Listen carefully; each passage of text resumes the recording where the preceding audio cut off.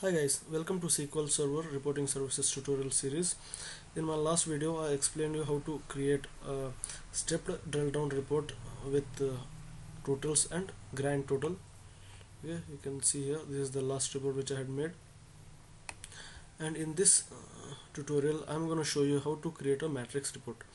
Okay, in order to create a matrix report, you need to go to your Solution Explorer and then right click on reports click on add and then click on new item. Okay here there is a report section just click on it and give a name to a report like matrix sorry matrix report enter. Okay let us just increase the size. And now we need to make our connection or we have to sorry here uh, this one is okay. Okay. Now we need to create a data source and data sets. Okay. To create a data source just right click on the data source folder and then add data source. Okay uh, as you know I have created a shared data source connection okay which I am using here shared data source and matrix report. Okay. I know at this time you are very much comfortable with this embedded connection what is embedded connection and what is shared data connections uh, which I have explained in my last in my previous tutorials. Okay. I'm gonna use my shared data source connection and I'm gonna click OK. Okay let's add our data sets. Data set. Matrix. Matrix report okay. Here I don't have any share data set connection in my uh, project. So for this I'm I'm gonna use embedded one okay. Here we need to select our data source. And just click on query designer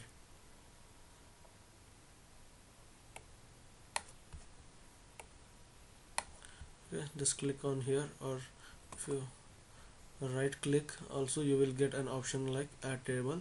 And if you don't want to do like that here there is an icon by which you can select your tables.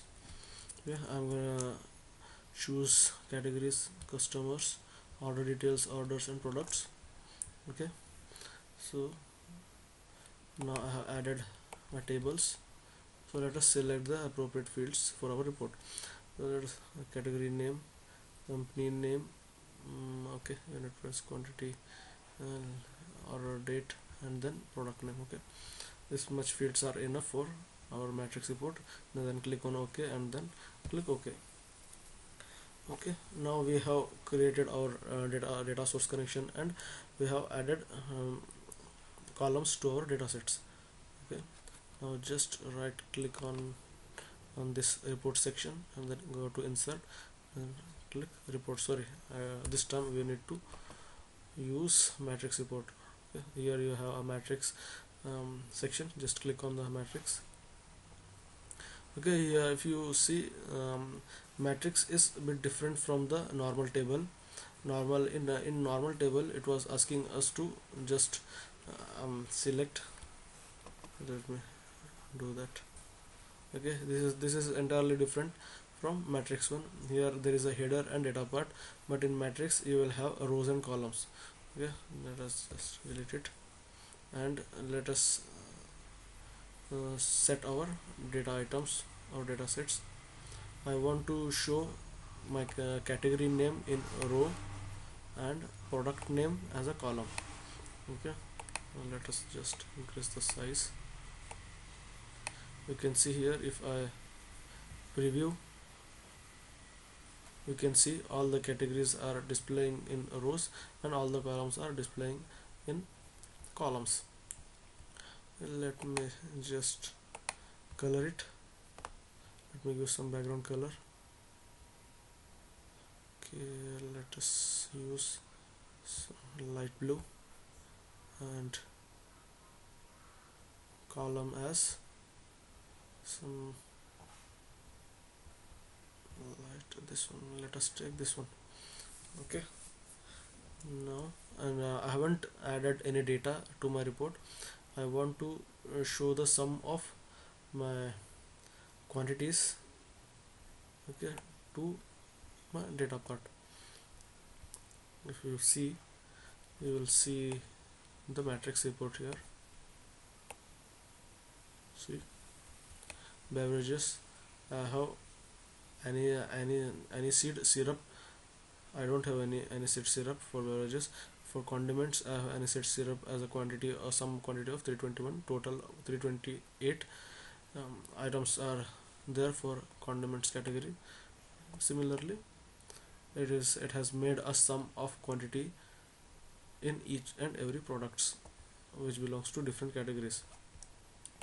Okay this is how you can create a matrix report. Okay. Let us go here. If you want to add sum add total in row okay.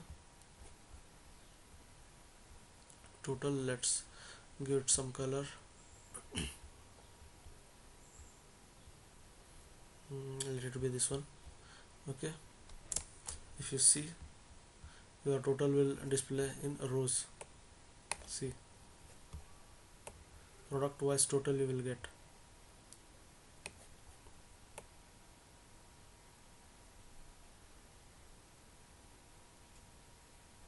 Okay.